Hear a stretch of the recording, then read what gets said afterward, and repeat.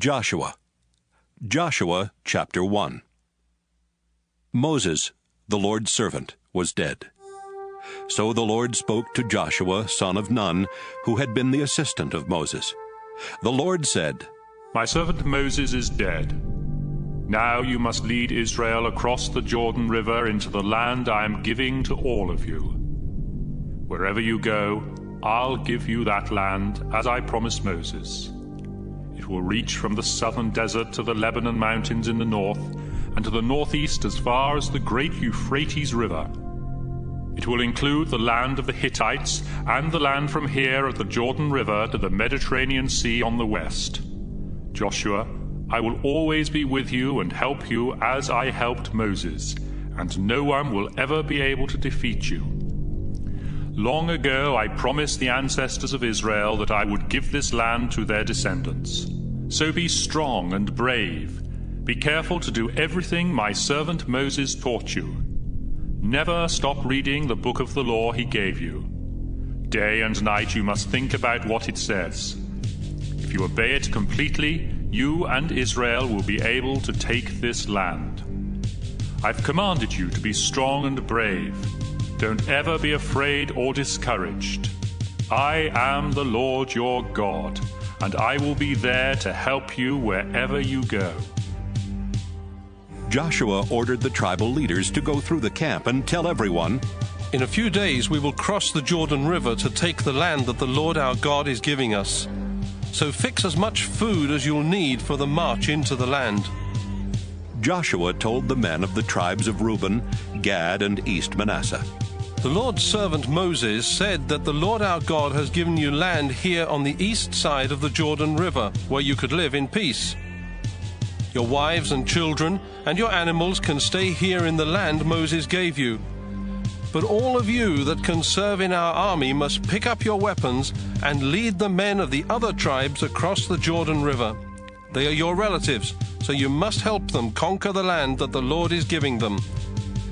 The Lord will give peace to them as he has given peace to you, and then you can come back and settle here in the land that Moses promised you. The men answered, We'll cross the Jordan River and help our relatives. We'll fight anywhere you send us. If the Lord our God will help you as he helped Moses, and if you're strong and brave, we will obey you as we obeyed Moses. We'll even put to death anyone who rebels against you or refuses to obey you.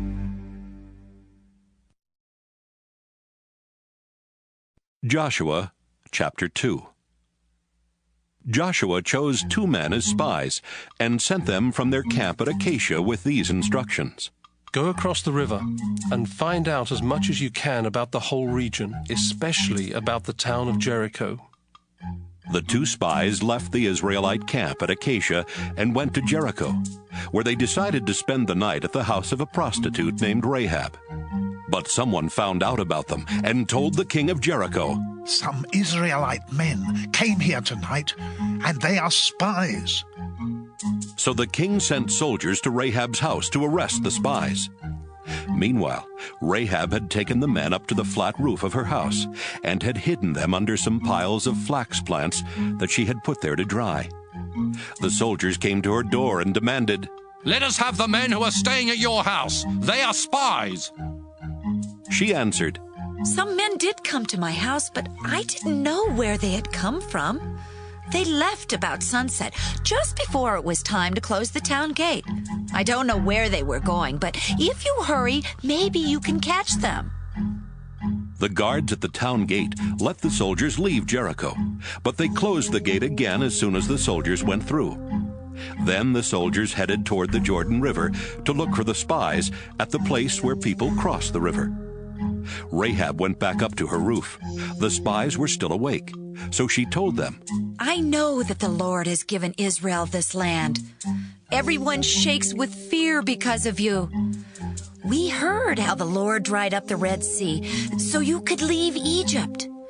And we heard how you destroyed Sihon and Og, those two Amorite kings east of the Jordan River. We know that the Lord your God rules heaven and earth, and we've lost our courage and our will to fight. please promise me in the Lord's name that you will be as kind to my family as I have been to you. Do something to show that you won't let your people kill my father and mother and my brothers and sisters and their families. Rahab, The spies answered, if you keep quiet about what we're doing, we promise to be kind to you when the Lord gives us this land. We pray that the Lord will kill us if we don't keep our promise. Rahab's house was built into the town wall, and one of the windows in her house faced outside the wall. She gave the spies a rope, showed them the window, and said, Use this rope to let yourselves down to the ground outside the wall. Then hide in the hills. The men who are looking for you won't be able to find you there. They'll give up and come back after a few days, and you can be on your way. The spies said, You made us promise to let you and your family live. We will keep our promise, but you can't tell anyone why we were here. You must tie this red rope on your window when we attack. And your father and mother, your brothers, and everyone else in your family must be here with you. We'll take the blame if anyone who stays in this house gets hurt. But anyone who leaves your house will be killed, and it won't be our fault. I'll do exactly what you said. Rahab promised. Then she sent them on their way and tied the red rope to the window.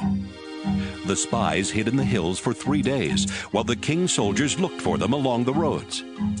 As soon as the soldiers gave up and returned to Jericho, the two spies went down into the Jordan Valley and crossed the river. They reported to Joshua and told him everything that had happened. We're sure the Lord has given us the whole country. They said, The people there shake with fear every time they think of us.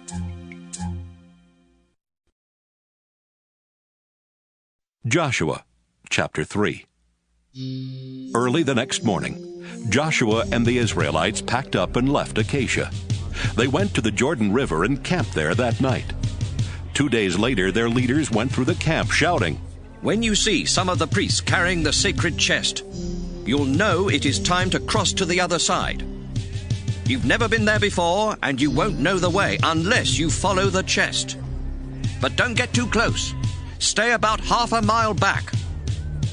Joshua told the people, Make yourselves acceptable to worship the Lord, because he is going to do some amazing things for us. Then Joshua turned to the priests and said, Take the chest and cross the Jordan River ahead of us. So the priests picked up the chest by its carrying poles and went on ahead. The Lord told Joshua, Beginning today, I will show the people that you are their leader, and they will know that I am helping you as I helped Moses. Now, tell the priests who are carrying the chest to go a little way into the river and stand there. Joshua spoke to the people. Come here and listen to what the Lord our God said he will do. The Canaanites, the Hittites, the Hivites, the Perizzites, the Girgashites, the Amorites, and the Jebusites control the land on the other side of the river. But the living God will be with you and will force them out of the land when you attack. And now God is going to prove that He's powerful enough to force them out. Just watch the sacred chest that belongs to the Lord, the ruler of the whole earth. As soon as the priests carrying the chest step into the Jordan, the water will stop flowing and pile up as if someone had built a dam across the river. The Lord also said that each of the twelve tribes should choose one man to represent it. The Israelites packed up and left camp. The priests carrying the chest walked in front until they came to the Jordan River. The water in the river had risen over its banks, as it often does in springtime. But as soon as the feet of the priests touched the water, the river stopped flowing, and the water started piling up at the town of Adam near Zarethan. No water flowed toward the Dead Sea. And the priests stood in the middle of the dry riverbed near Jericho while everyone else crossed over. Joshua chapter 4 After Israel had crossed the Jordan, the Lord said to Joshua, Tell one man from each of the twelve tribes to pick up a large rock from where the priests are standing. Then have the men set up those rocks as a monument at the place where you camp tonight. Joshua chose twelve men. He called them together and told them, Go to the middle of the riverbed where the sacred chest is and pick up a large rock. Carry it on your shoulder to our camp. There are twelve of you, so there will be one rock for each tribe. Someday your children will ask, Why are these rocks here? Then you can tell them how the water stopped flowing when the chest was being carried across the river. These rocks will always remind our people of what happened here today. The men followed the instructions that the Lord had given Joshua. They picked up twelve rocks, one for each tribe, and carried them to the camp where they put them down.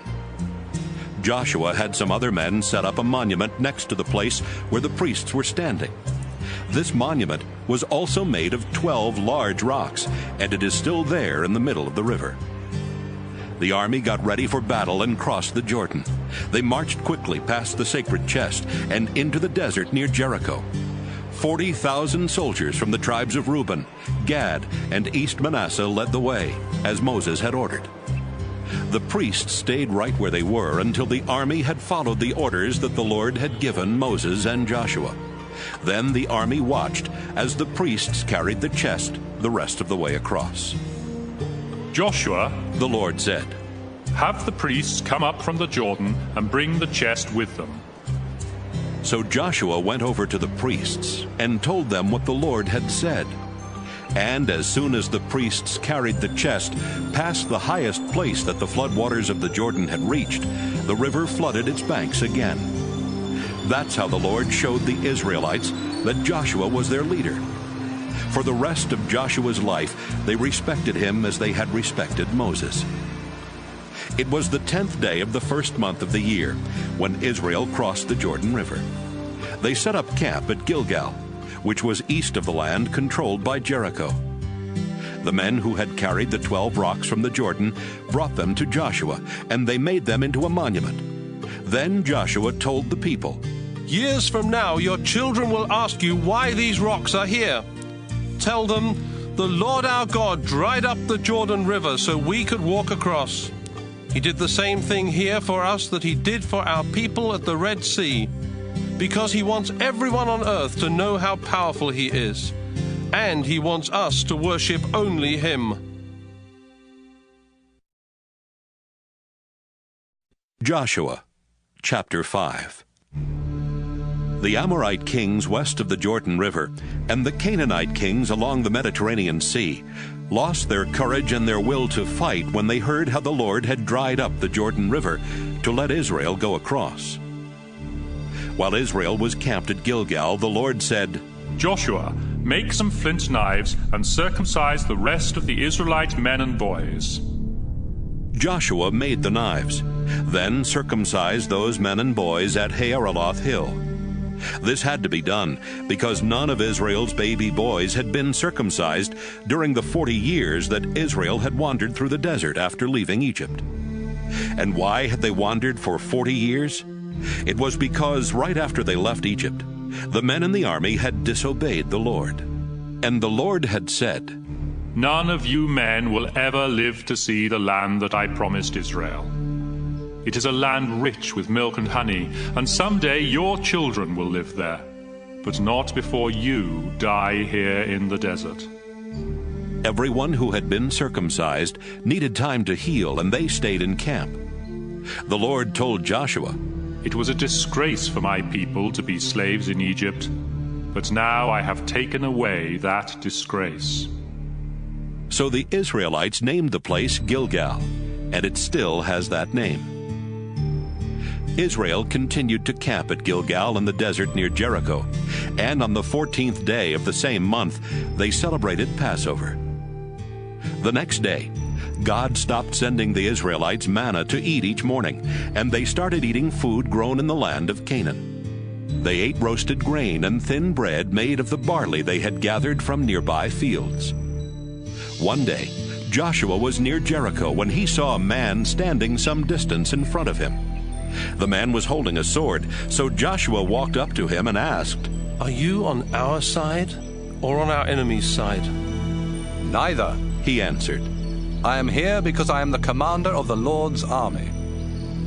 Joshua fell to his knees and bowed down to the ground. I am your servant, he said. Tell me what to do. Take off your sandals, the commander answered. This is a holy place. So Joshua took off his sandals.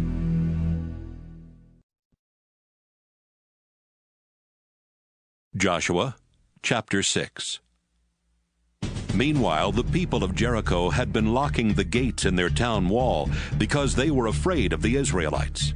No one could go out or come in. The Lord said to Joshua, With my help, you and your army will defeat the king of Jericho and his army, and you will capture the town. Here is how to do it march slowly around Jericho once a day for six days. Take along the sacred chest and have seven priests walk in front of it carrying trumpets.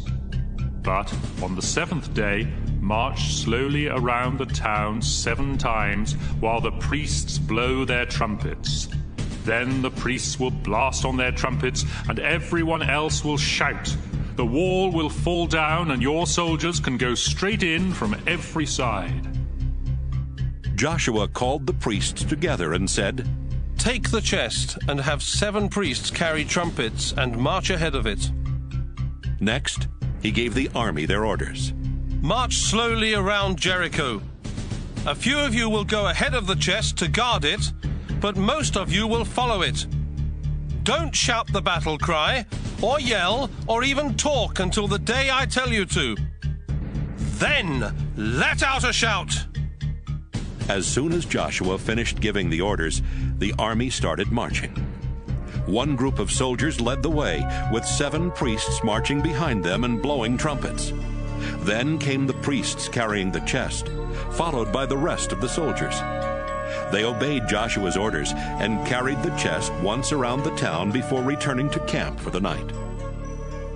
Early the next morning, Joshua and everyone else started marching around Jericho in the same order as the day before. One group of soldiers was in front, followed by the seven priests with trumpets, and the priests who carried the chest.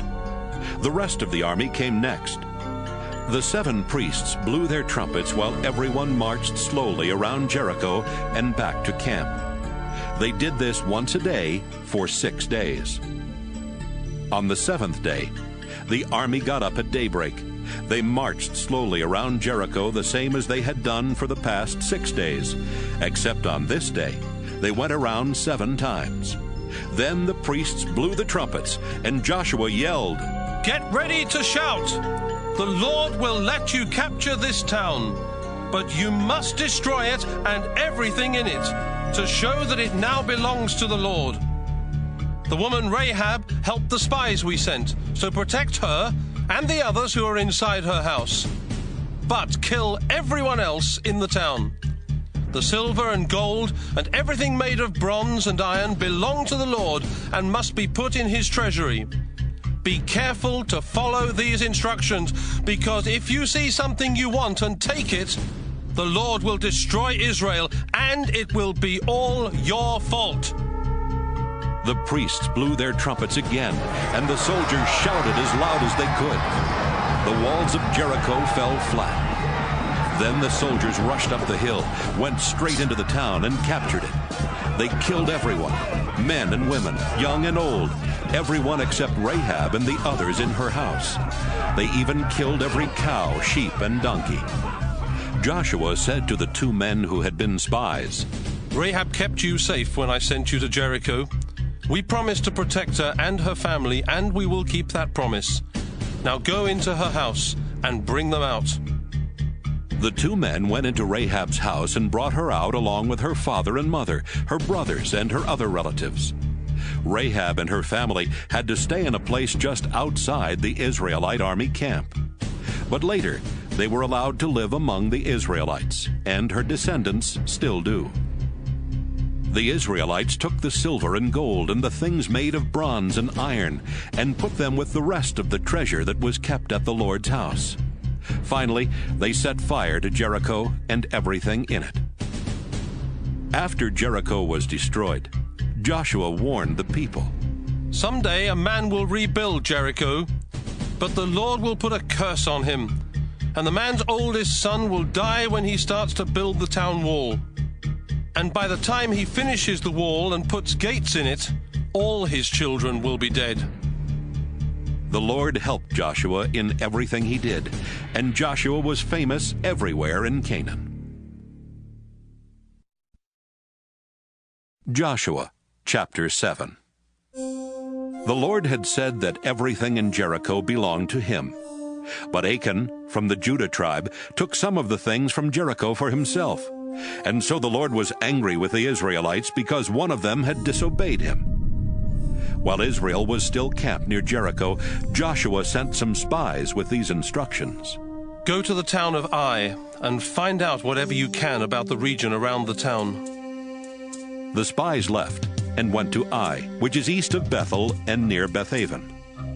They went back to Joshua and reported, You don't need to send the whole army to attack Ai. Two or three thousand troops will be enough. Why bother the whole army for a town that small? Joshua sent about 3,000 soldiers to attack Ai. But the men of Ai fought back and chased the Israelite soldiers away from the town gate and down the hill to the stone quarries. 36 Israelite soldiers were killed, and the Israelite army felt discouraged. Joshua and the leaders of Israel tore their clothes and put dirt on their heads to show their sorrow. They lay face down on the ground in front of the sacred chest until sunset. Then Joshua said, Our Lord, did you bring us across the Jordan River just so the Amorites could destroy us? This wouldn't have happened if we'd agreed to stay on the other side of the Jordan. I don't even know what to say to you, since Israel's army has turned and run from the enemy. Everyone will think you weren't strong enough to protect your people. Now the Canaanites and everyone else who lives in the land will surround us and wipe us out. The Lord answered, Stop lying there on the ground. Get up. I said everything in Jericho belonged to me and had to be destroyed. But the Israelites have kept some of the things for themselves. They stole from me and hid what they took. Then they lied about it. What they stole was supposed to be destroyed, and now Israel itself must be destroyed. I cannot help you any more until you do exactly what I have said. That's why Israel turns and runs from its enemies instead of standing up to them. Tell the people of Israel, Tomorrow you will meet with the Lord your God, so make yourselves acceptable to worship him. The Lord says that you have taken things that should have been destroyed. You won't be able to stand up to your enemies until you get rid of those things. Tomorrow morning, everyone must gather near the place of worship. You will come forward tribe by tribe, and the Lord will show which tribe is guilty. Next, the clans in that tribe must come forward, and the Lord will show which clan is guilty. The families in that clan must come, and the Lord will point out the guilty family. Finally, the men in that family must come, and the Lord will show who stole what should have been destroyed. That man must be put to death, his body burned, and his possessions thrown into the fire. He has done a terrible thing by breaking the sacred agreement that the Lord made with Israel. Joshua got up early the next morning and brought each tribe to the place of worship where the Lord showed that the Judah tribe was guilty. Then Joshua brought the clans of Judah to the Lord, and the Lord showed that the Zerah clan was guilty. One by one he brought the leader of each family in the Zerah clan to the Lord, and the Lord showed that Zabdi's family was guilty. Finally, Joshua brought each man in Zabdi's family to the Lord, and the Lord showed that Achan was the guilty one. Achan, Joshua said, the Lord God of Israel has decided that you are guilty. Is this true? Tell me what you did, and don't try to hide anything. It's true. Achan answered, I sinned and disobeyed the Lord God of Israel. While we were in Jericho, I saw a beautiful Babylonian robe, 200 pieces of silver, and a gold bar that weighed the same as 50 pieces of gold. I wanted them for myself, so I took them. I dug a hole under my tent and hid the silver, the gold, and the robe. Joshua had some people run to Achan's tent, where they found the silver, the gold, and the robe. They brought them back and put them in front of the sacred chest, so Joshua and the rest of the Israelites could see them. Then everyone took Achan and the things he had stolen to Trouble Valley. They also took along his sons and daughters, his cattle, donkeys, and sheep, his tent, and everything else that belonged to him. Joshua said, Achan, you caused us a lot of trouble. Now the Lord is paying you back with the same kind of trouble. The people of Israel then stoned to death Achan and his family. They made a fire and burned the bodies, together with what Achan had stolen and all his possessions. They covered the remains with a big pile of rocks, which is still there. Then the Lord stopped being angry with Israel. That's how the place came to be called Trouble Valley. Joshua chapter 8 The Lord told Joshua, Don't be afraid, and don't be discouraged by what happened at the town of Ai. Take the army and attack again. But first, have part of the army set up an ambush on the other side of the town. I will help you defeat the king of Ai and his army, and you will capture the town and the land around it. Destroy Ai and kill its king as you did at Jericho. But you may keep the livestock and everything else you want. Joshua quickly got the army ready to attack Ai. He chose 30,000 of his best soldiers and gave them these orders. Tonight, while it is dark, march to Ai and take up a position behind the town. Get as close to the town as you can without being seen, but be ready to attack. The rest of the army will come with me and attack near the gate. When the people of Ai come out to fight, we'll run away and let them chase us. They will think we are running from them just like the first time.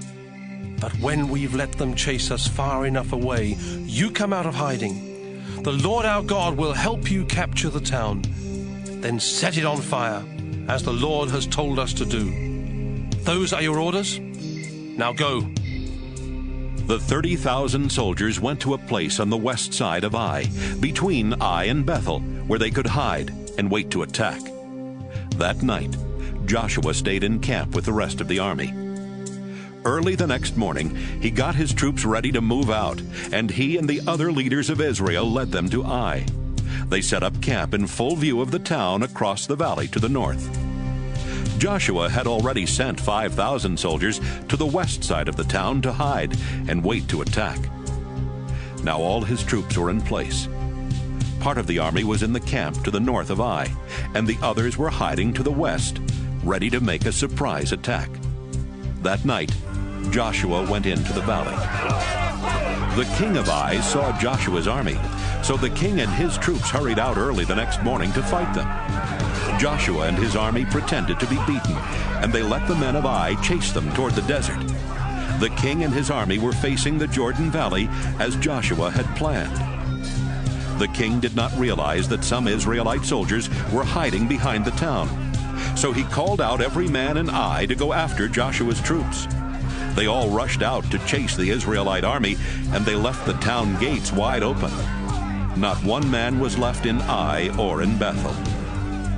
Joshua let the men of Ai chase him and his army farther and farther away from Ai. Finally, the Lord told Joshua, Point your sword at the town of Ai, because now I'm going to help you defeat it. As soon as Joshua pointed his sword at the town, the soldiers who had been hiding got up and ran into the town. They captured it and set it on fire. When Joshua and his troops saw smoke rising from the town, they knew that the other part of their army had captured it. So they turned and attacked. The men of Ai looked back and saw smoke rising from their town, but they could not escape because the soldiers they had been chasing had suddenly turned and started fighting. Meanwhile, the other Israelite soldiers had come from the town and attacked the men of Ai from the rear.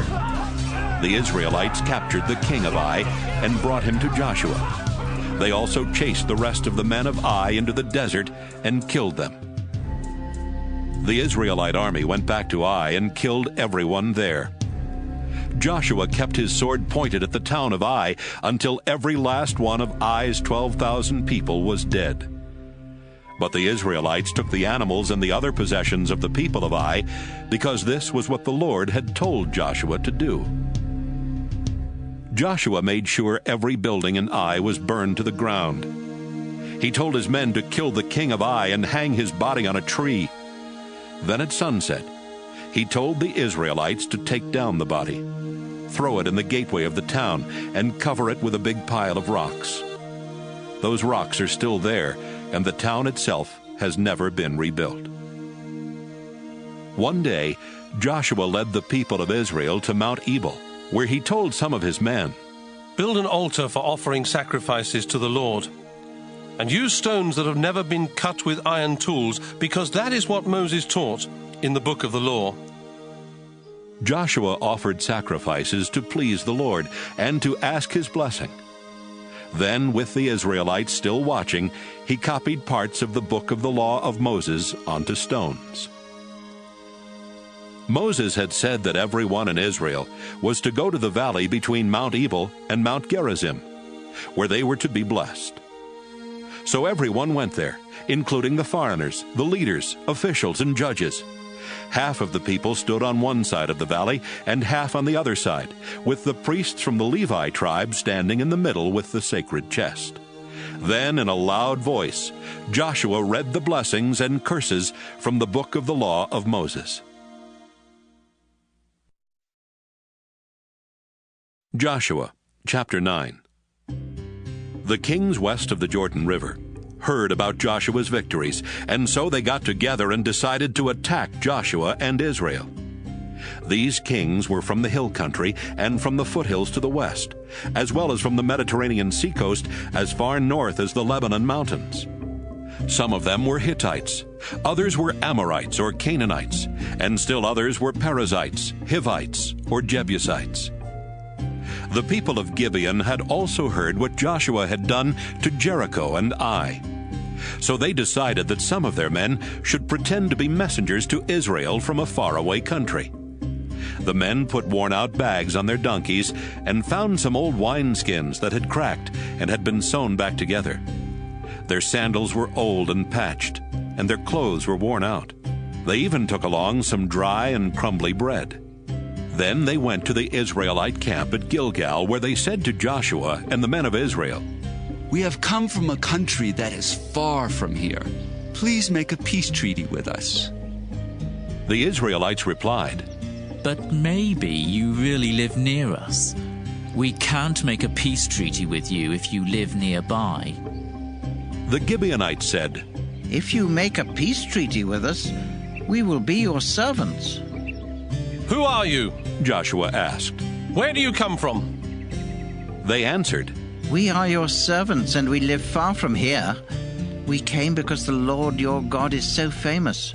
We heard what the Lord did in Egypt, and what he did to those two Amorite kings on the other side of the Jordan King Og of Bashan, who lived in Ashtaroth, and King Sihon of Heshbon.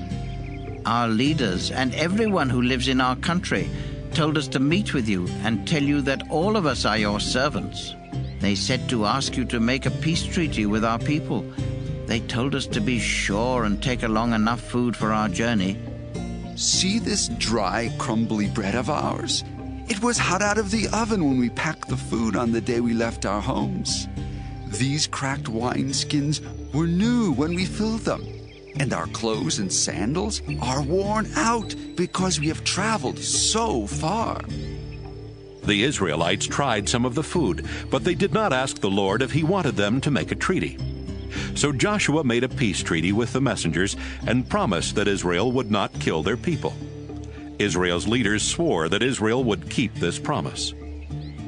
A couple of days later, the Israelites found out that these people actually lived in the nearby towns of Gibeon, Kephirah, Beeroth, and Kiriath Jearim. So the Israelites left the place where they had camped and arrived at the four towns two days later.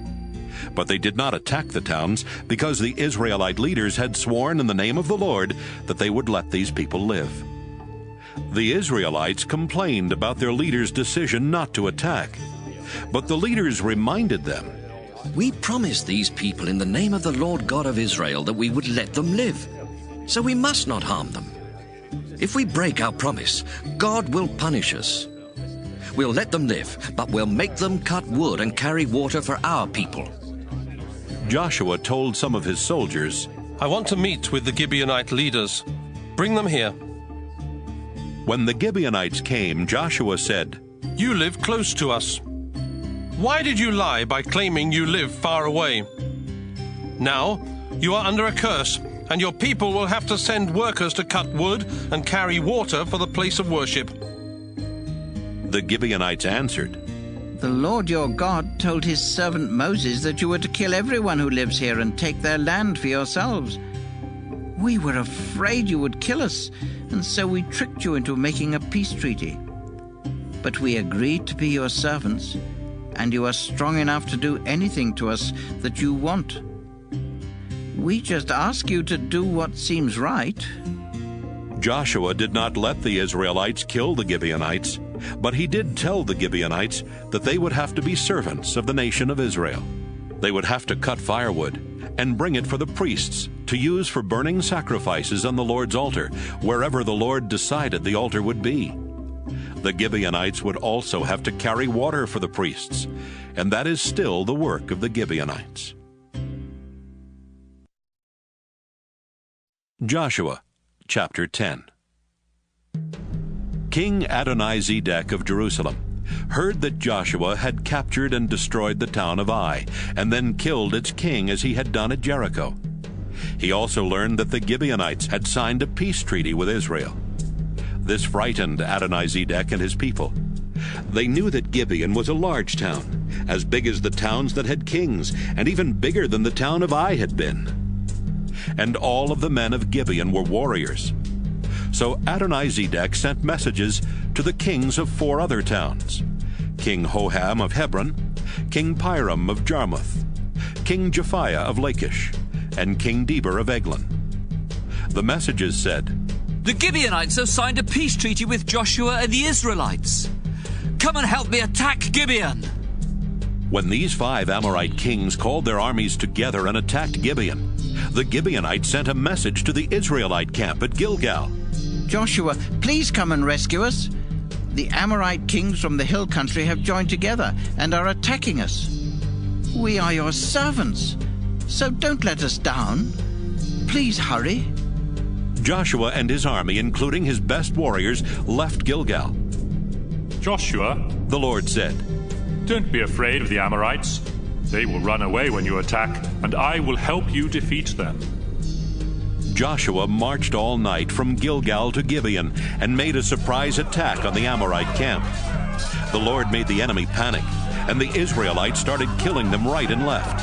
They chased the Amorite troops up the road to Beth Horon and kept on killing them until they reached the towns of Azekah and Makkedah.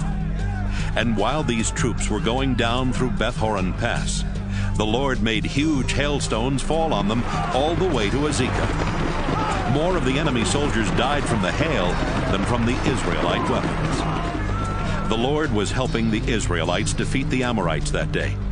So about noon, Joshua prayed to the Lord loud enough for the Israelites to hear. Our Lord, make the sun stop in the sky over Gibeon, and the moon stand still over Ajalon Valley.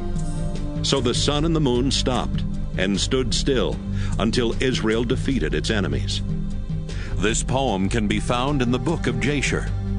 The sun stood still and didn't go down for about a whole day. Never before and never since has the Lord done anything like that for someone who prayed. The Lord was really fighting for Israel. After the battle, Joshua and the Israelites went back to their camp at Gilgal. While the enemy soldiers were running from the Israelites, the five enemy kings ran away and hid in a cave near Makkedah. Joshua's soldiers told him, The five kings have been found in a cave near Makkedah. Joshua answered, Roll some big stones over the mouth of the cave and leave a few soldiers to guard it. But you and everyone else must keep after the enemy troops, because they will be safe if they reach their walled towns. Don't let them get away.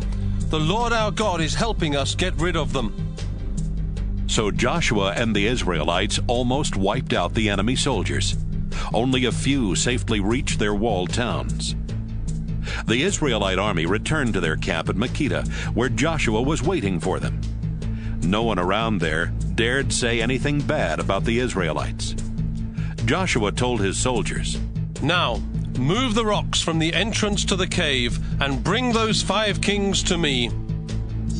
The soldiers opened the entrance to the cave and brought out the kings of Jerusalem, Hebron, Jarmuth, Lachish, and Eglon. After Joshua had called the army together, he forced the five kings to lie down on the ground. Then he called his officers forward and told them, You fought these kings along with me, so put your feet on their necks. The officers did, and Joshua continued, Don't ever be afraid or discouraged. Be brave and strong. This is what the Lord will do to all your enemies. Joshua killed the five kings and told his men to hang each body on a tree. Then at sunset, he told some of his troops, Take the bodies down and throw them into the cave where the kings were found. Cover the entrance to the cave with big rocks. Joshua's troops obeyed his orders, and those rocks are still there. Later that day, Joshua captured Makkedah and killed its king and everyone else in the town, just as he had done at Jericho. Joshua and his army left Makkedah and attacked the town of Libnah. The Lord let them capture the town and its king, and they killed the king and everyone else, just as they had done at Jericho. Joshua then led his army to Lachish, and they set up camp around the town. They attacked, and the next day the Lord let them capture the town. They killed everyone, as they had done at Libnah. King Horam of Gezer arrived to help Lachish, but Joshua and his troops attacked and destroyed him and his army. From Lachish, Joshua took his troops to Eglon, where they set up camp surrounding the town. They attacked, captured it that same day, then killed everyone as they had done at Lachish. Joshua and his army left Eglon and attacked Hebron. They captured the town and the nearby villages, then killed everyone, including the king. They destroyed Hebron in the same way they had destroyed Eglon. Joshua and the Israelite army turned and attacked Debir. They captured the town and its nearby villages. Then they destroyed Debir and killed its king, together with everyone else, just as they had done with Hebron and Libnah. Joshua captured towns everywhere in the land, in the central hill country and the foothills to the west, in the southern desert and the region that slopes down toward the Dead Sea. Whenever he captured a town, he would kill the king and everyone else as the Lord God of Israel had commanded. Joshua wiped out towns from Kadesh Barnea to Gaza, everywhere in the region of Goshen, and as far north as Gibeon. The Lord fought on Israel's side, so Joshua and the Israelite army were able to capture these kings and take their land. They fought one battle after another. Then they went back to their camp at Gilgal after capturing all that land. Joshua chapter 11 King Jabin of Hazor heard about Joshua's victories. So he sent messages to many nearby kings and asked them to join him in fighting Israel. He sent these messages to King Jobab of Madon, the kings of Shimron and Achshaph, the kings in the northern hill country and in the Jordan River valley south of Lake Galilee, and the kings in the foothills and in the Naphath Dor to the west. He sent messages to the Canaanite kings in the east and the west, to the Amorite, Hittite, Perizzite, and Jebusite kings in the hill country, and to the Hivite kings in the region of Mizpah, near the foot of Mount Hermon. The kings and their armies went to Merom Pond, where they set up camp and got ready to fight Israel. It seemed as though there were more soldiers and horses and chariots than there are grains of sand on the beach. The Lord told Joshua, Don't let them frighten you. I'll help you defeat them, and by this time tomorrow they will be dead. When you attack, the first thing you have to do is to cripple their horses. Then, after the battle is over, burn their chariots. Joshua and his army made a surprise attack against the enemy camp at Merom Pond and crippled the enemy's horses. Joshua followed the Lord's instructions, and the Lord helped Israel defeat the enemy. The Israelite army even chased enemy soldiers as far as Misrephoth Maim to the northwest, the city of Sidon to the north, and Mizpah Valley to the northeast. None of the enemy soldiers escaped alive. The Israelites came back after the battle and burned the enemy's chariots. Up to this time, the king of Hazor had controlled the kingdoms that had joined together to attack Israel. So Joshua led his army back and captured Hazor. They killed its king and everyone else, then they set the town on fire. Joshua captured all the towns where the enemy kings had ruled. These towns were built on small hills, and Joshua did not set fire to any of these towns except Hazor. The Israelites kept the animals and everything of value from these towns, but they killed everyone who lived in them, including their kings. That's what the Lord had told his servant Moses to do. That's what Moses had told Joshua to do, and that's exactly what Joshua did. Joshua and his army took control of the northern and southern hill country, the foothills to the west, the southern desert, the whole region of Goshen and the Jordan River Valley. They took control of the land from Mount Halak near the country of Edom in the south to Baal Gad in Lebanon Valley, at the foot of Mount Hermon in the north. Joshua and his army were at war with the kings in this region for a long time, but finally they captured and put to death the last king. The Lord had told Moses that he wanted the towns in this region destroyed and their people killed without mercy. That's why the Lord made the people in the town stubborn and determined to fight Israel. The only town that signed a peace treaty with Israel was the Hivite town of Gibeon. The Israelite army captured the rest of the towns in battle. During this same time, Joshua and his army killed the Anakim from the northern and southern hill country. They also destroyed the towns where the Anakim had lived, including Hebron, Debir, and Anab. There were not any Anakim left in the regions where the Israelites lived, although there were still some in Gaza, Gath, and Ashdod. That's how Joshua captured the land, just as the Lord had commanded Moses, and Joshua divided it up among the tribes. Finally, there was peace in the land. Joshua chapter 12 Before Moses died, he and the people of Israel had defeated two kings east of the Jordan River. These kings had ruled the region from the Arnon River Gorge in the south to Mount Hermon in the north, including the eastern side of the Jordan River Valley. The first king that Moses and the Israelites defeated was an Amorite, King Sihon of Heshbon. The southern border of his kingdom ran down the middle of the Arnon River Gorge, taking in the town of Aroer on the northern edge of the gorge. The Jabbok River separated Sihon's kingdom from the Ammonites on the east. Then the Jabbok turned west and became his northern border, so his kingdom included the southern half of the region of Gilead. Sihon also controlled the eastern side of the Jordan River Valley, from Lake Galilee south to Beth Jeshimoth and the Dead Sea. In addition to these regions, he ruled the town called Slopes of Mount Pisgah, and the land south of there at the foot of the hill. Next, Moses and the Israelites defeated King Og of Bashan, who lived in the town of Ashtaroth part of each year and in Edrei the rest of the year. Og was one of the last of the Rapha. His kingdom stretched north to Mount Hermon, east to the town of Salecah, and included the land of Bashan as far west as the borders of the kingdoms of Geshur and Maacah. He also ruled the northern half of Gilead. Moses, the Lord's servant, had led the people of Israel in defeating Sihon and Og. Then Moses gave their land to the tribes of Reuben, Gad, and East Manasseh. Later, Joshua and the Israelites defeated many kings west of the Jordan River, from Baal Gad in the Lebanon Valley in the north to Mount Halak near the country of Edom in the south.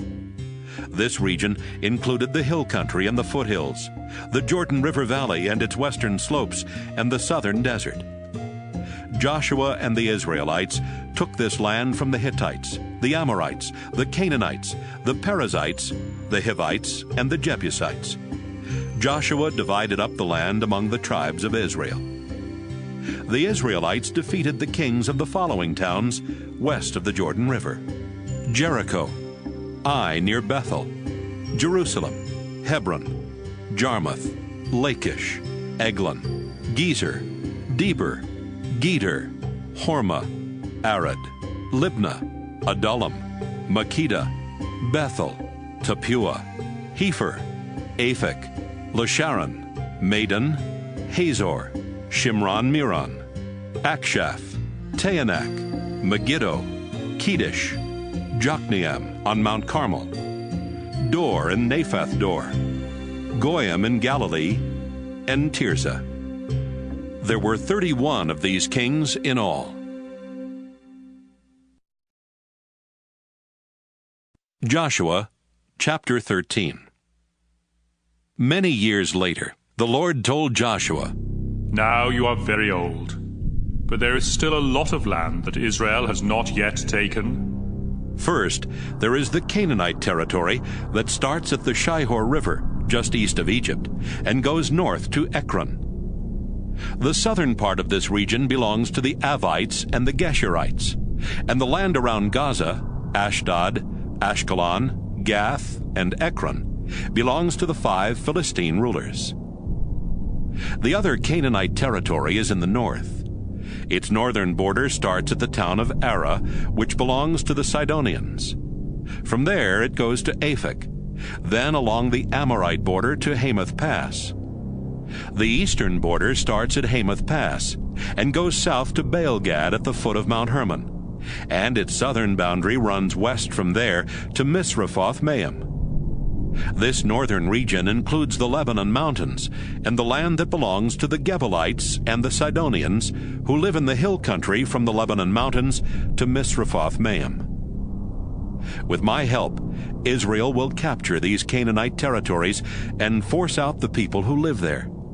But you must divide up the land from the Jordan River to the Mediterranean Sea among the nine tribes and the half of Manasseh that don't have any land yet. Then each tribe will have its own land. Moses had already given land east of the Jordan River to the tribes of Reuben, Gad, and half of Manasseh. This region stretched north from the town in the middle of the Arnon River Valley and included the town of Aroer on the northern edge of the valley. It covered the flatlands of Medeba north of Dibon and took in the towns that had belonged to Sihon, the Amorite king of Heshbon. Some of these towns were as far east as the Ammonite border. Geshur and Maacah were part of this region, and so was the whole territory that King Og had ruled, that is, Gilead, Mount Hermon, and all of Bashan as far east as Salecah. Og had lived in Ashtaroth part of each year, and he had lived in Edrei the rest of the year. Og had been one of the last of the Rapha, but Moses had defeated Sihon and Og and their people, and had forced them to leave their land. However, the Israelites did not force the people of Geshur and Maacah to leave, and they still live there among the Israelites. Moses did not give any land to the Levi tribe, because the Lord God of Israel had told them, Instead of land, you will receive the sacrifices offered at my altar. Moses gave land to each of the clans in the Reuben tribe. Their land started in the south, at the town in the middle of the Arnon River Valley, took in the town of Aroer on the northern edge of the valley, and went as far north as the flatlands around Medeba. The Amorite king Sihon had lived in Heshbon and had ruled the towns in the flatlands. Now Heshbon belonged to Reuben, and so did the following towns in the flatlands Dibon, Bamoth Baal, Beth Baal Meon, Jahaz, Kedemoth, Mephaath, Kiriathaim, Sibmah, Zereth Shahar on the hill in the valley, Beth Peor, slopes of Mount Pisgah, and Beth Jeshimoth. Moses defeated Sihon and killed him and the Midianite chiefs who ruled parts of his kingdom for him. Their names were Evi, Rekem, Zur, Hur, and Reba. The Israelites also killed Balaam, the son of Beor, who had been a fortune teller. This region, with its towns and villages, was the land for the Reuben tribe, and the Jordan River was its western border. Moses also gave land to each of the clans in the Gad tribe. It included the town of Jazer, and in the Gilead region their territory took in the land and towns as far east as the town of Aroer, just west of Rabbah. This was about half of the land that had once belonged to the Ammonites. The land given to Gad stretched from Heshbon in the south to Ramath Mizpah and Betonim in the north, and even further north to Mahanaim and Lidabur. Gad also received the eastern half of the Jordan River Valley, which had been ruled by King Sihon of Heshbon. This territory stretched as far north as Lake Galilee and included the towns of Beth Haram, Beth Nimrah, Succoth, and Zaphon. These regions, with their towns and villages, were given to the Gad tribe. Moses gave land east of the Jordan River to half of the clans from the Manasseh tribe. Their land started at Mahanaim and took in the region that King Og of Bashan had ruled, including Ashtaroth and Edrei, the two towns where he had lived. The villages where the Jair clan settled were part of Manasseh's land, and so was the northern half of the region of Gilead. The clans of this half of Manasseh had 60 towns in all. The Manasseh tribe is sometimes called the Makir tribe, after Manasseh's son Makir. That was how Moses divided up the Moab plains to the east of Jericho on the other side of the Jordan River, so these two and a half tribes would have land of their own. But Moses did not give any land to the Levi tribe, because the Lord had promised that he would always provide for them. Joshua chapter 14 Nine and a half tribes still did not have any land, although two and a half tribes had already received land east of the Jordan River. Moses had divided that land among them, and he had also said that the Levi tribe would not receive a large region like the other tribes. Instead, the people of Levi would receive towns and the nearby pastures for their sheep, goats, and cattle. And since the descendants of Joseph had become the two tribes of Ephraim and Manasseh, there were still nine and a half tribes that needed land. The Lord had told Moses that he would show those tribes how to divide up the land of Canaan. When the priest Eleazar, Joshua, and the leaders of the families and tribes of Israel met to divide up the land of Canaan, the Lord showed them how to do it. One day, while the Israelites were still camped at Gilgal, Caleb the son of Jephunneh went to talk with Joshua. Caleb belonged to the Kenaz clan, and many other people from the Judah tribe went with Caleb. He told Joshua, You know that back in Kadesh Barnea the Lord talked to his prophet Moses about you and me. I was 40 years old at the time Moses sent me from Kadesh Barnea into Canaan as a spy. When I came back and told him about the land, everything I said was true. The other spies said things that made our people afraid, but I completely trusted the Lord God.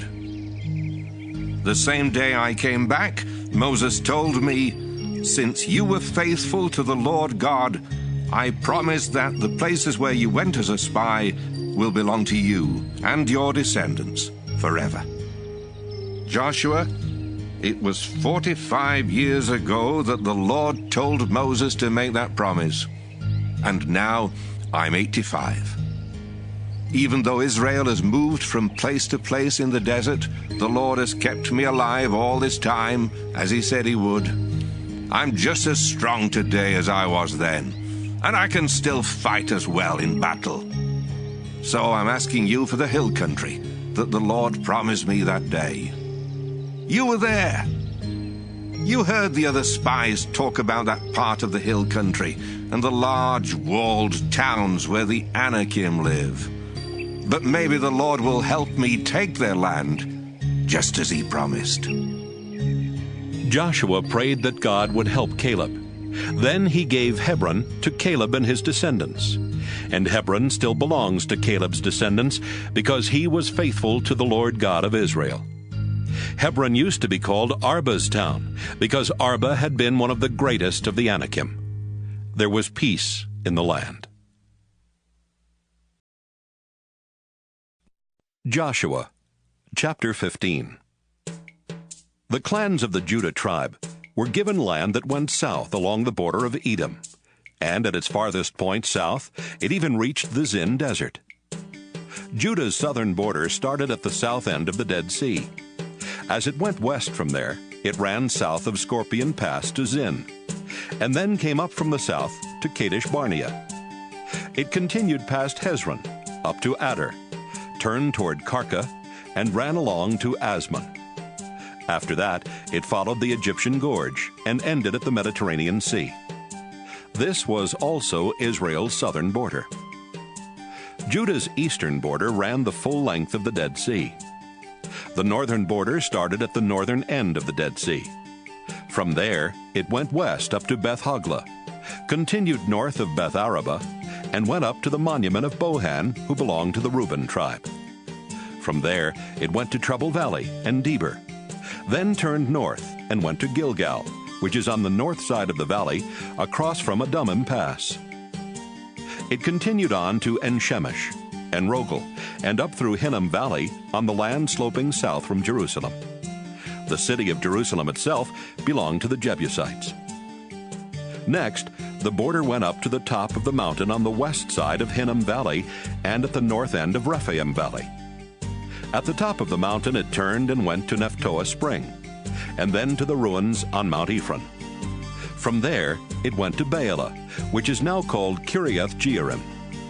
From Baalah, the northern border curved west to Mount Seir, and then ran along the northern ridge of Mount Jearim, where Chesalon is located.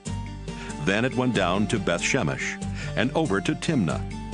It continued along to the hillside north of Ekron, curved around to Shikkeron, and then went to Mount Baalah. After going to Jabneel, the border finally ended at the Mediterranean Sea, which was Judah's western border. The clans of Judah lived within these borders. Joshua gave Caleb some land among the people of Judah, as God had told him to do. Caleb's share was Hebron, which at that time was known as Arba's town, because Arba was the famous ancestor of the Anakim. Caleb attacked Hebron and forced the three Anakim clans of Sheshai, Ahiman, and Talmai to leave. Next, Caleb started a war with the town of Debir, which at that time was called Kiriath Sepher. He told his men, The man who captures Kiriath Sepher can marry my daughter Achsah. Caleb's nephew Othniel captured Kiriath Sepher, and Caleb let him marry Achsah. Right after the wedding, Achsah started telling Othniel that he ought to ask her father for a field. She went to see her father, and while she was getting down from her donkey, Caleb asked her, What's bothering you? She answered, I need your help.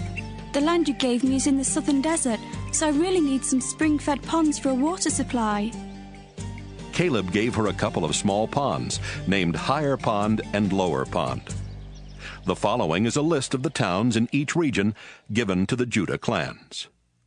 The first region was located in the southern desert, along the border with Edom, and it had the following 29 towns with their surrounding villages Kabzeel, Eder, Jagur, Kinah, Dimonah, Arada, Kedesh, Hazor of Ithnan, Ziph, Telem, Bealoth, Hazor Hadattah, Kiriath Hezron, which is also called Hazor, Amam, Shema, Moladah, Hazar Gaddah, Heshmon, Beth Pelet, Hazar Shual, Beersheba and its surrounding villages, Baalah, Iim, Ezem, El Tolad, Kisel, Hormah, Ziklag, Madmannah, Sansannah, Lebaoth, Shilhim, and Enrimmon. The second region was located in the northern part of the lower foothills, and it had the following 14 towns with their surrounding villages Eshtaol, Zorah, Ashna, Zanoah, Engannim, Tappuah, Enam, Jarmuth, Adullam, Socoh, Azekah, Shearim, Adathaim, Gederah, and Gederothaim. The third region was located in the southern part of the lower foothills, and it had the following 16 towns with their surrounding villages Zenon, Hadashah, Migdalgad, Dibon, Mizpah, Joktheel, Lachish, Bozkath, Eglon, Cabbon, Lahmas, Kitlish, Gederoth, Beth Dagon, Naamah, and Makkedah. The fourth region was located in the central part of the lower foothills, and it had the following nine towns with their surrounding villages Libnah, Ether, Ashan, Iphtah, Ashna, Nezib, Keilah, Achzib, and Mareshah.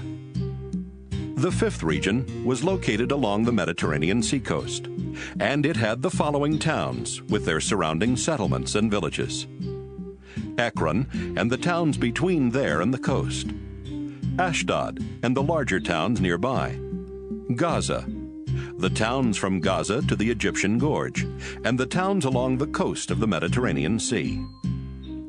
The sixth region was in the southwestern part of the hill country, and it had the following 11 towns with their surrounding villages. Shamir, Jattir, Socoh, Dannah, Kiriath Sannah, which is now called Debir, Anab, Eshtemoh, Anim, Goshen, Holon, and Giloh. The seventh region was located in the south central part of Judah's hill country, and it had the following nine towns with their surrounding villages Arab, Dumah, Eshan, Janim, Beth Tappuah, Aphekah, Humtah, Kiriath Arba, which is now called Hebron, and Zior. The eighth region was located in the southeastern part of the hill country, and it had the following ten towns with their surrounding villages Maon, Carmel, Ziph, Juttah, Jezreel, Jokdeam, Zanoah, Kain, Gibeah, and Timnah. The ninth region was located in the central part of Judah's hill country, and it had the following six towns with their surrounding villages Halhul, Beth Zur, Gedor, Maarath, Beth Anath, and Eltekon. The tenth region was located in the north central part of Judah's hill country, and it had the following eleven towns with their surrounding villages Tekoa, Ephrathah, which is also called Bethlehem, Peor, Etam, Kulon, Tatum, Shoresh, Kiram, Gallim, Bether, and Manahath. The eleventh region was located in the northern part of Judah's hill country, and it had the following two towns with their surrounding villages Rabbah and Kiriath Baal, which is also called Kiriath Jearim. The twelfth region was located in the desert along the Dead Sea, and it had the following six towns with their surrounding villages Beth Arabah, Sekakah, Nibshan, Salttown, and Engedi. The Jebusites lived in Jerusalem, and the people of the Judah tribe could not capture the city and get rid of them. That's why Jebusites still live in Jerusalem along with the people of Judah.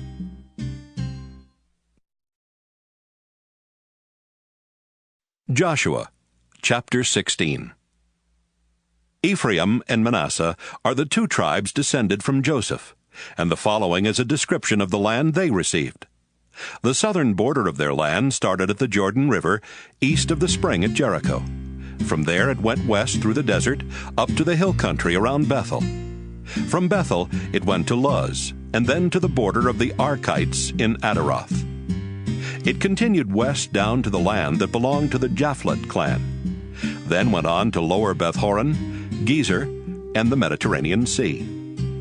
The following is a description of the land that was divided among the clans of the Ephraim tribe.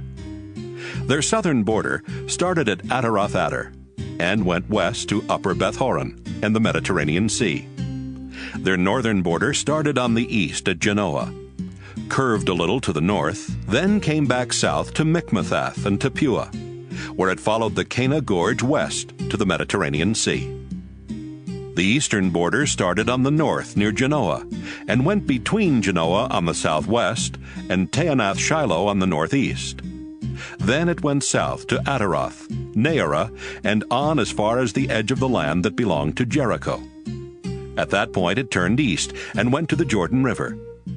The clans of Ephraim received this region as their tribal land. Ephraim also had some towns and villages that were inside Manasseh's tribal land. Ephraim could not force the Canaanites out of Gezer, so there are still some Canaanites who live there among the Israelites. But now these Canaanites have to work as slaves for the Israelites. Joshua chapter 17 Manasseh was Joseph's oldest son, and Makir was Manasseh's oldest son. Makir had a son named Gilead, and some of his descendants had already received the regions of Gilead and Bashan because they were good warriors. The other clans of the Manasseh tribe descended from Gilead's sons Abiezer, Helek, Asriel, Shechem, Hepher, and Shemida. The following is a description of the land they received.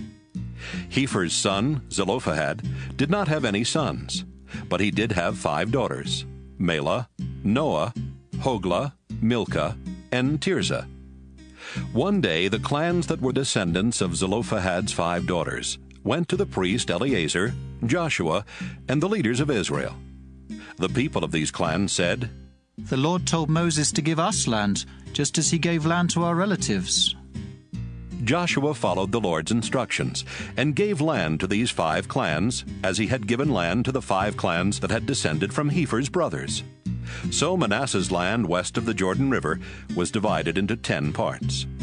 The land of the Manasseh tribe went from its northern border with the Asher tribe south to Michmethath, which is to the east of Shechem.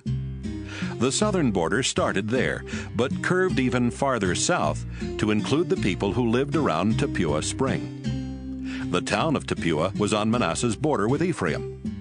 Although the land around Tappuah belonged to Manasseh, the town itself belonged to Ephraim. Then the border went west to the Kanah Gorge and ran along the northern edge of the gorge to the Mediterranean Sea. The land south of the gorge belonged to Ephraim. And even though there were a few towns that belonged to Ephraim north of the gorge, the land north of the gorge belonged to Manasseh. The western border of Manasseh was the Mediterranean Sea, and the tribe shared a border with the Asher tribe on the northwest, and with the Issachar tribe on the northeast. Manasseh was supposed to have the following towns with their surrounding villages inside the borders of Issachar's and Asher's tribal lands Beth Shean, Ibleam, Endor, Taanach, Megiddo, Endor, which is also called Naphath. But the people of Manasseh could not capture these towns, so the Canaanites kept on living in them. When the Israelites grew stronger, they made the Canaanites in these towns work as their slaves, though they never did force them to leave. One day the Joseph tribes came to Joshua and asked, Why didn't you give us more land? The Lord has always been kind to us, and we have too many people for this small region. Joshua replied, If you have so many people that you don't have enough room in the hill country of Ephraim, then go into the forest that belonged to the Perizzites and the Rapha. Clear out the trees and make more room for yourselves there. Even if we do that, they answered, there still won't be enough land for us in the hill country. And we can't move down into Jezreel Valley because the Canaanites who live in Bethshean and in other parts of the valley have iron chariots. Your tribes do have a lot of people, Joshua admitted. I'll give you more land. Your tribes are powerful, so you can have the rest of the hill country. But it's a forest, and you'll have to cut down the trees and clear the land. You can also have Jezreel Valley. Even though the Canaanites there are strong and have iron chariots, you can force them to leave the valley. Joshua chapter 18 After Israel had captured the land, they met at Shiloh and set up the sacred tent. There were still seven tribes without any land, so Joshua told the people, The Judah tribe has already settled in its land in the south, and the Joseph tribes have settled in their land in the north. The tribes of Gad, Reuben, and East Manasseh already have the land that the Lord's servant Moses gave them east of the Jordan River.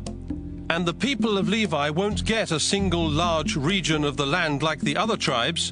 Instead, they will serve the Lord as priests. But the rest of you haven't done a thing to take over any land.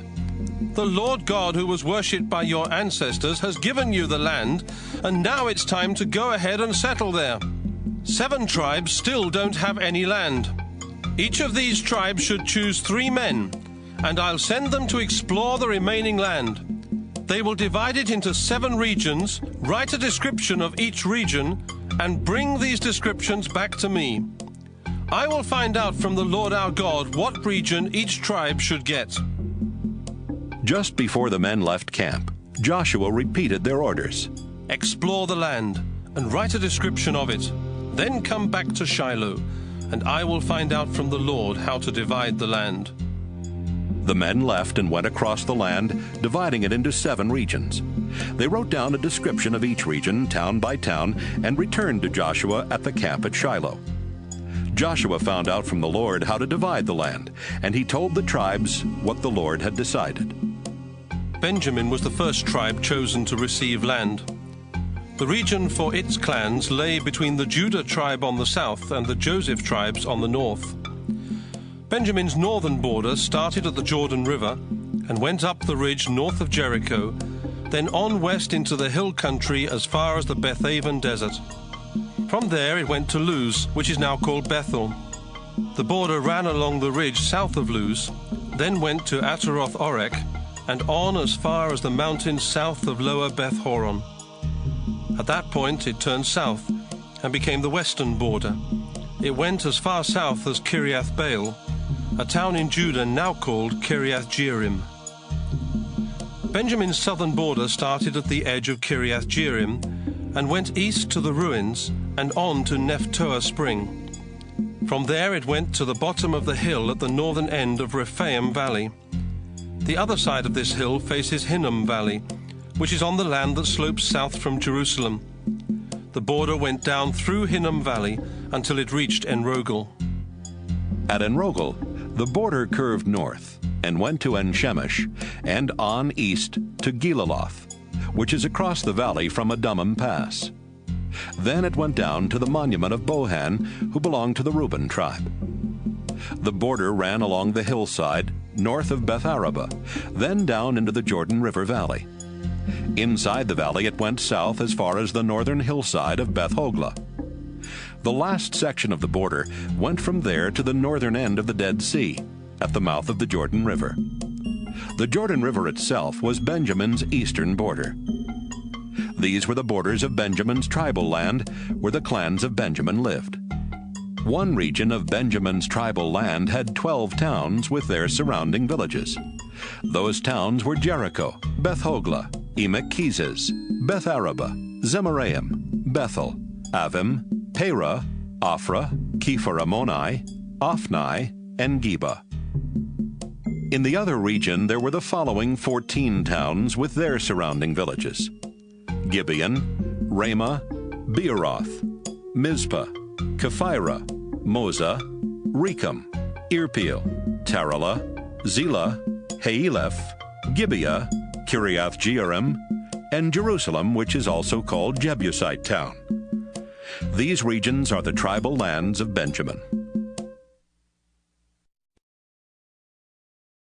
Joshua chapter 19 Simeon was the second tribe chosen to receive land, and the region for its clans was inside Judah's borders.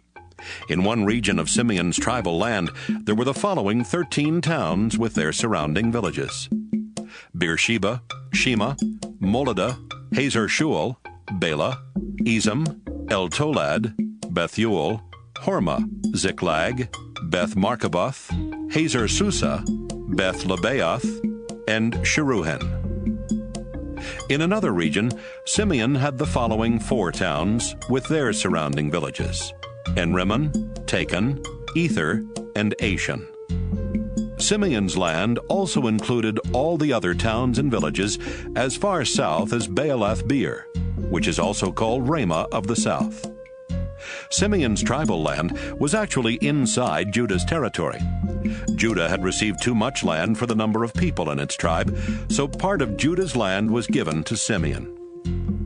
Zebulun was the third tribe chosen to receive land. The southern border for its clans started in the west at the edge of the gorge near Jokneam. It went east to the edge of the land that belongs to the town of Dabbesheth, and continued on to Maralah and Sarid. It took in the land that belongs to Kisloth Tabor, then ended at Daberath. The eastern border went up to Japhia and continued north to Gath Hepher, Ethkazin, and Ramona, where it curved toward Neah and became the northern border. Then it curved south around Anathon and went as far west as Iftahel Valley. Zebulun had twelve towns with their surrounding villages. Some of these were Kadesh, Nahalal, Shimron, Jeruelah, and Bethlehem. This is the tribal land, and these are the towns and villages of the Zebulun clans.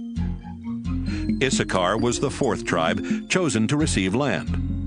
The northern border for its clans went from Mount Tabor east to the Jordan River.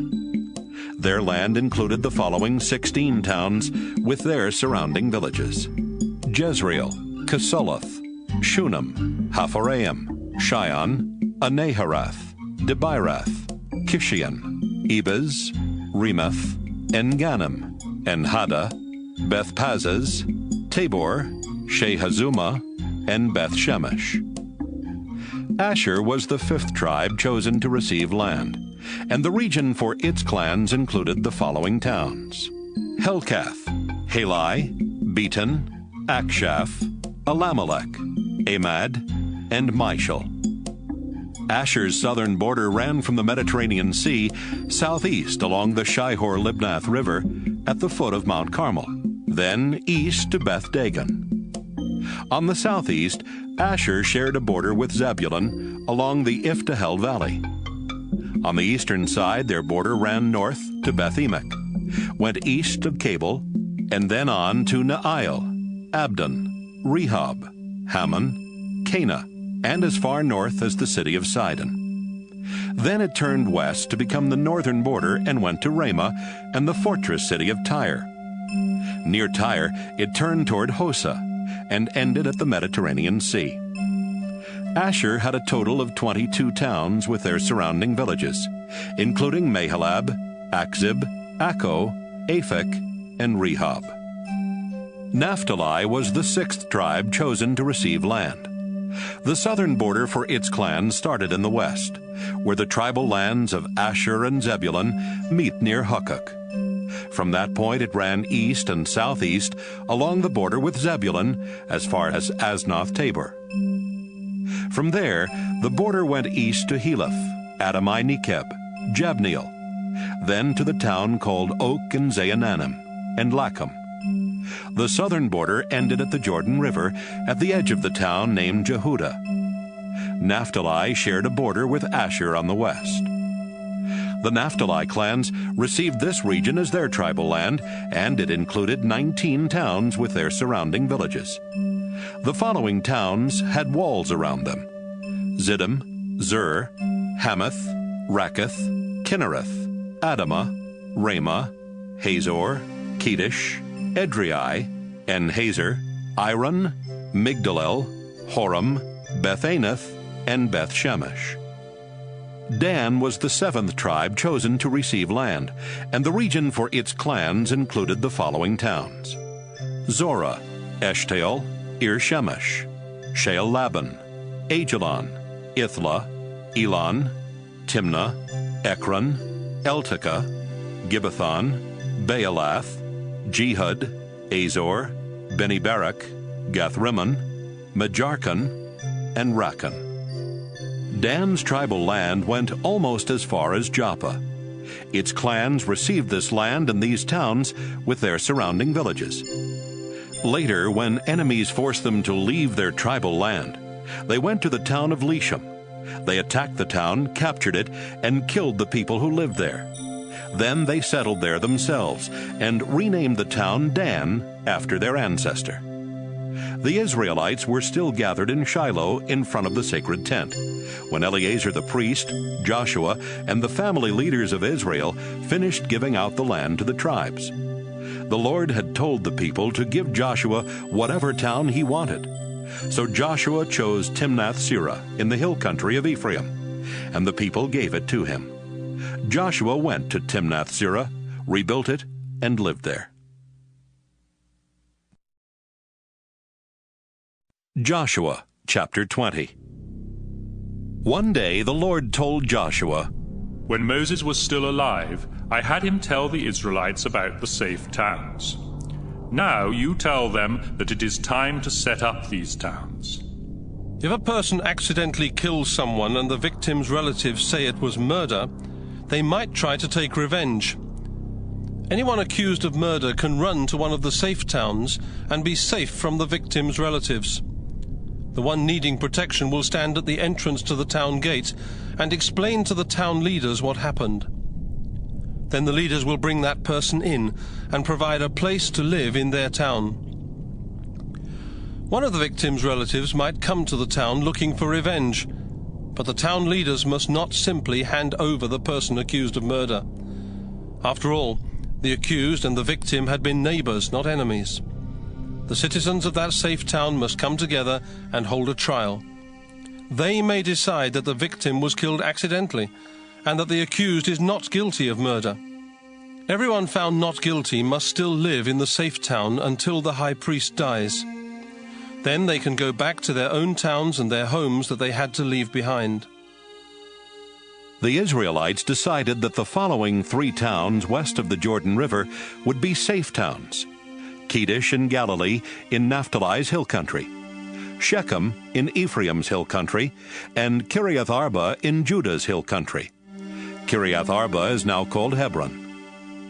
The Israelites had already decided on the following three towns east of the Jordan River Bezer in the desert flatlands of Reuben, Ramoth in Gilead, which was a town that belonged to Gad, and Golan in Bashan, which belonged to Manasseh. These safe towns were set up so that if Israelites or even foreigners who lived in Israel accidentally killed someone, they could run to one of these towns. There they would be safe until a trial could be held, even if one of the victim's relatives came looking for revenge.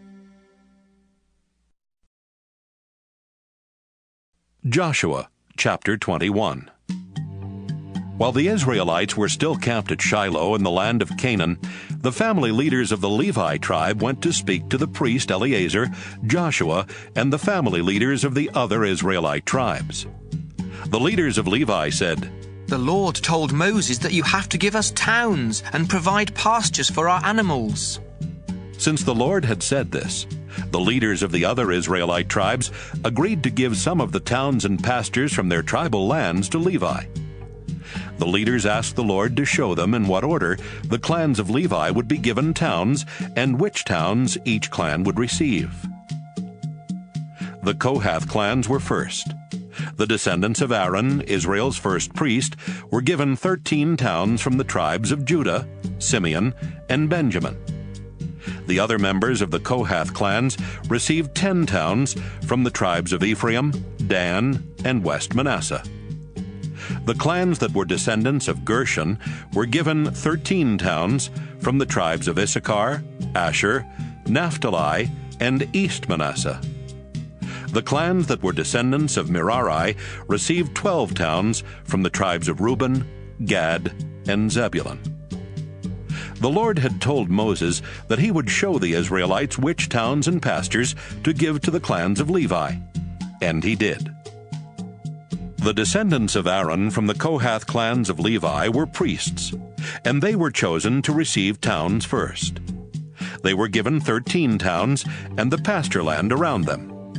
Nine of these towns were from the tribes of Judah and Simeon, and four from Benjamin Hebron, Libnah, Jattir, Eshtemoa, Holon, Debir, Ashan, Juttah, and Beth Shemesh were from Judah and Simeon. Hebron, located in the hill country of Judah, was earlier called Arba's town. It had been named after Arba, the ancestor of the Anakim. Hebron's pasture lands went along with the town, but its farmlands and the villages around it had been given to Caleb. Hebron was also one of the safe towns for people who had accidentally killed someone. Gibeon, Geba, Anathoth, and Almon were from Benjamin. The rest of the Kohath clans of the Levi tribe received ten towns and the pasture land around them. Four of these towns were from the tribe of Ephraim, four from Dan, and two from West Manasseh. Shechem, Gezer, Kibzaim, and Beth Horon were from Ephraim. Shechem was located in the hill country, and it was also one of the safe towns for people who had accidentally killed someone. Eltekeh, Gibbethon, Aijalon, and Gathrimmon were from Dan. Taanach and Jibleam were from West Manasseh.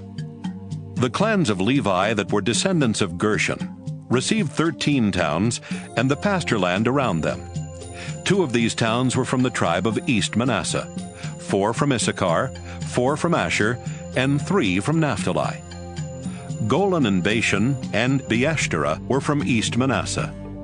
Kishion, Daberath, Jarmuth, and Engannim were from Issachar. Mishal, Abdon, Helkath, and Rehob were from Asher. Kedesh and Galilee, Hamath Dor, and Kartan were from Naphtali. Golan and Bashan and Kedesh and Galilee were also safe towns for people who had accidentally killed someone. The rest of the Levi clans were descendants of Merari, and they received twelve towns with the pasture land around them. Four towns were from the tribe of Zebulun, four from Reuben, and four from Gad. Jokneam, Kartah, Ramona, and Nahalal were from Zebulun. Bezer, Jazzah, Kedemoth, and Mephaath were from Reuben. Bezer was located in the desert flatlands east of the Jordan River across from Jericho. Ramoth and Gilead, Mahanaim, Heshbon, and Jazer were from Gad. Bezer and Ramoth and Gilead were safe towns for people who had accidentally killed someone. The people of the Levi tribe had a total of 48 towns within Israel, and they had pastures around each one of their towns. The Lord gave the Israelites the land he had promised their ancestors, and they captured it and settled in it. There still were enemies around Israel, but the Lord kept his promise to let his people live in peace. And whenever the Israelites did have to go to war, no enemy could defeat them. The Lord always helped Israel win. The Lord promised to do many good things for Israel, and he kept his promise every time.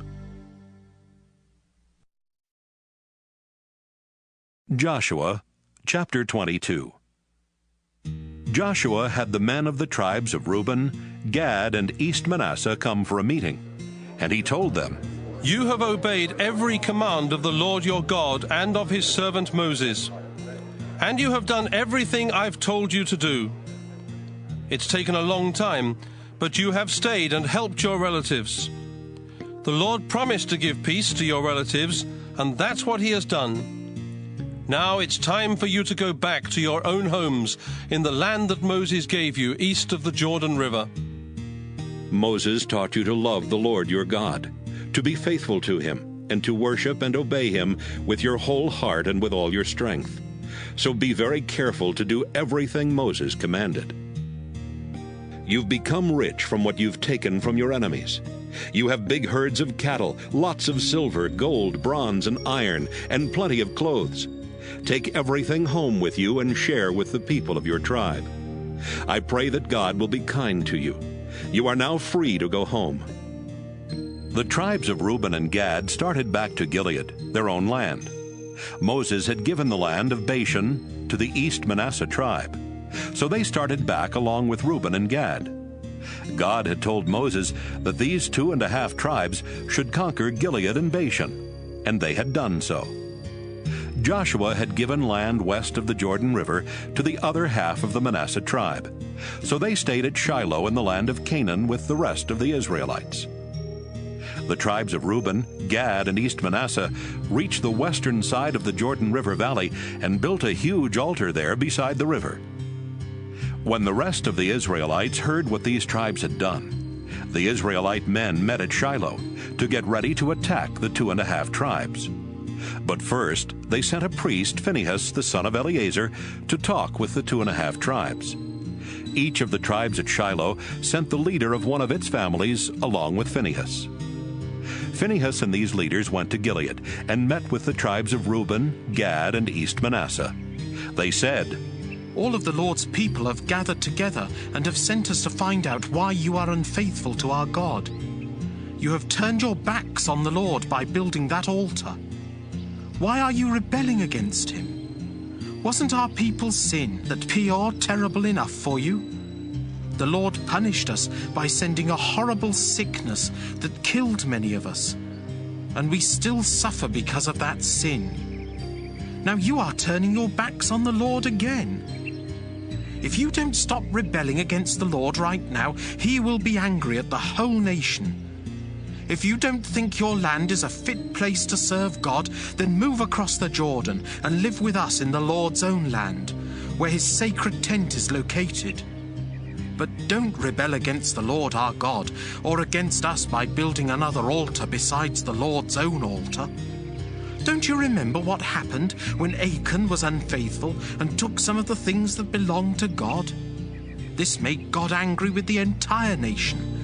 Achan died because he sinned, but he also caused the death of many others. The tribes of Reuben, Gad, and East Manasseh answered, The Lord is the greatest God. We ask him to be our witness, because he knows whether or not we were rebellious or unfaithful when we built that altar.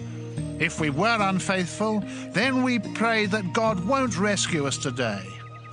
Let us tell you why we built that altar.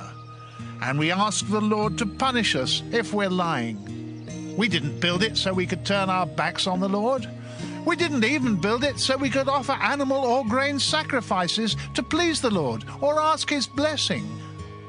We built that altar because we were worried. Someday your descendants might tell our descendants. The Lord made the Jordan River the boundary between us Israelites and you people of Reuben and Gad.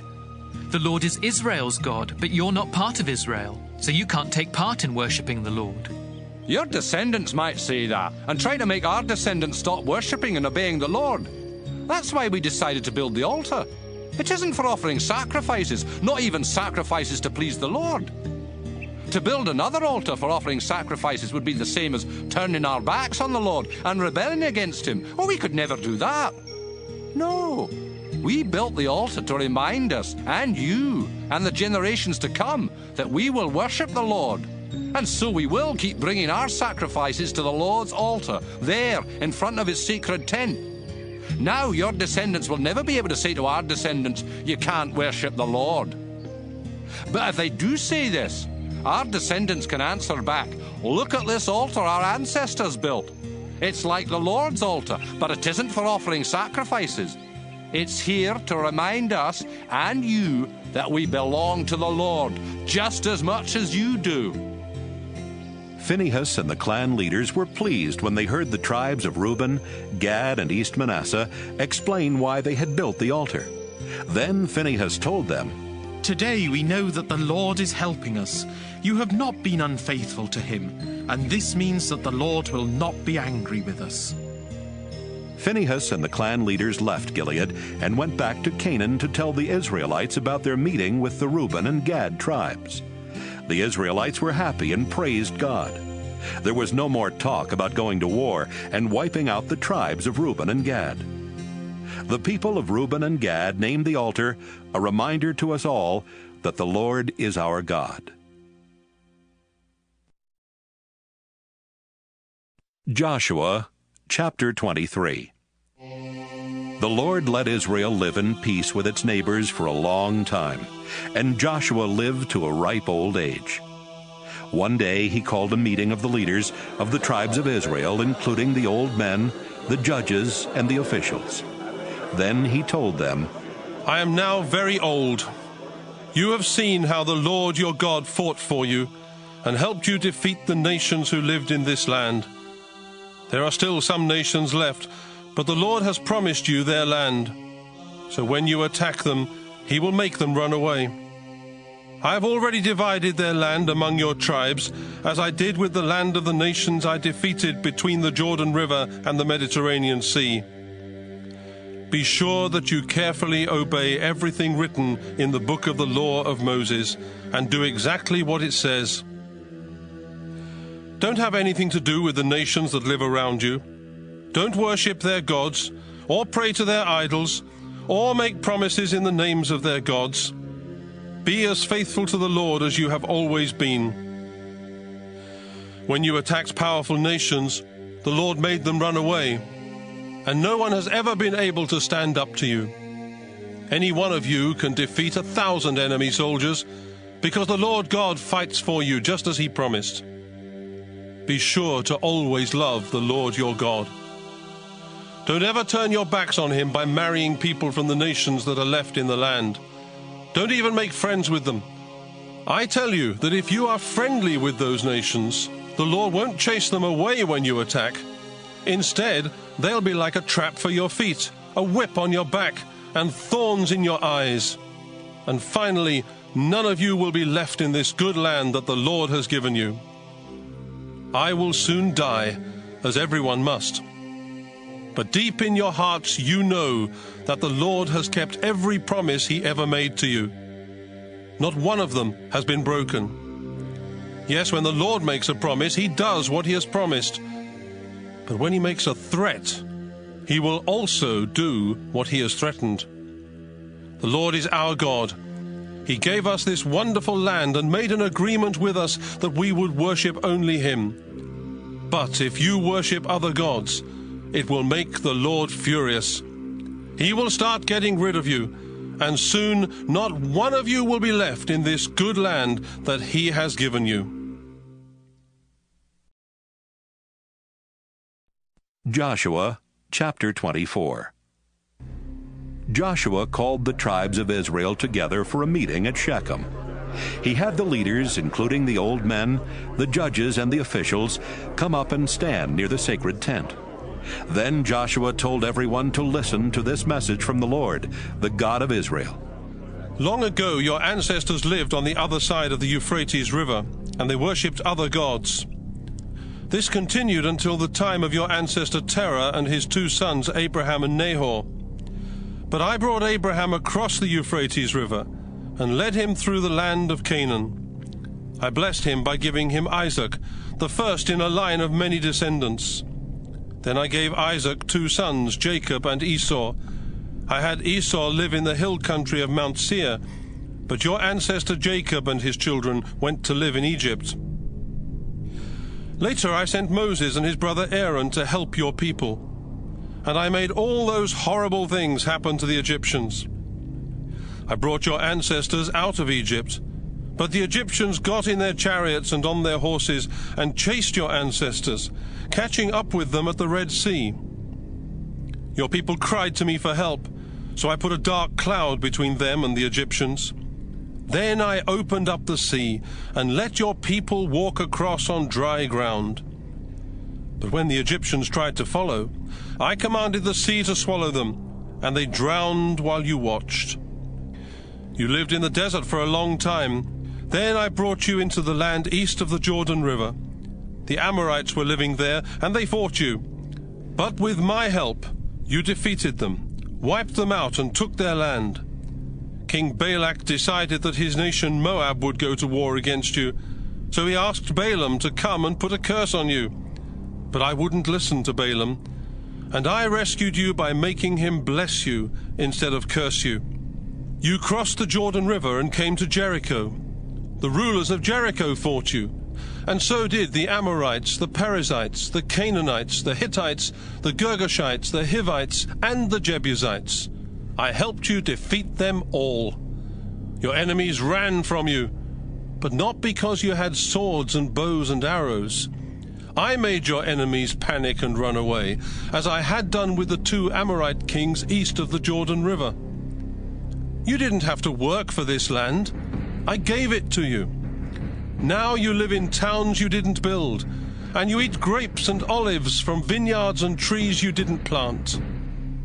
Then Joshua told the people, Worship the Lord, obey him, and always be faithful. Get rid of the idols your ancestors worshipped when they lived on the other side of the Euphrates River and in Egypt.